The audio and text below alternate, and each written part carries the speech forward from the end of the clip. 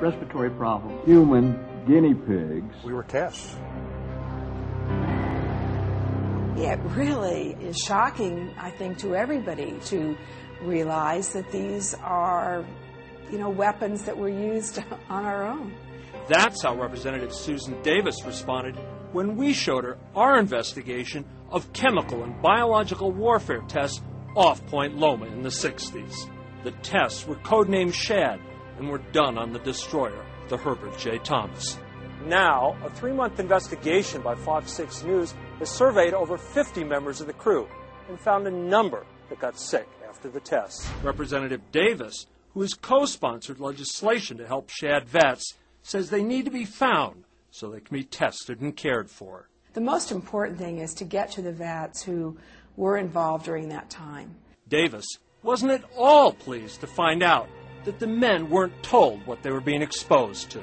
I felt like uh, cannon fodder. I think that people uh, obey the, the command, and I don't know in all cases that it was understood.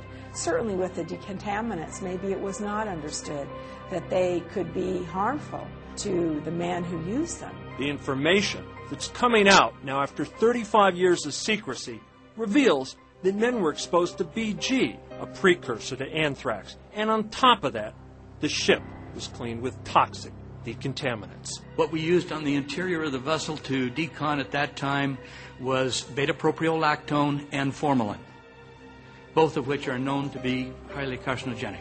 And what has the men most upset is that the Pentagon has hid what it's known for 35 years. I believe it's a cover up.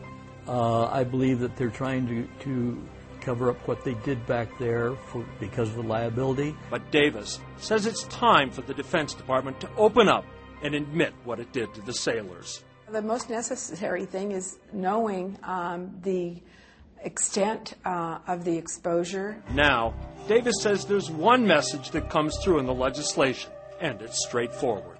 I think that the legislation is also sending a very clear message to the VA that we need to serve these veterans who have been exposed.